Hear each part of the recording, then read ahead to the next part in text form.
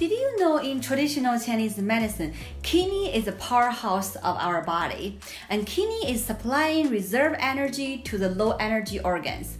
The ear is a sensory organ of our kidney. A lot of ear problem actually is a sign that your kidney's energy needs extra support. Practice these four steps, your body will receive unexpected results. Step 1 Pull up the ear tip 20 seconds. Step 2 Pull side of the ear 20 seconds. Step 3 Pull down the ear loop 20 seconds.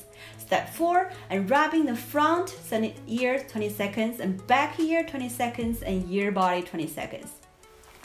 Those exercises are not just good for your kidney, also has a powerful anti-aging and beauty effects.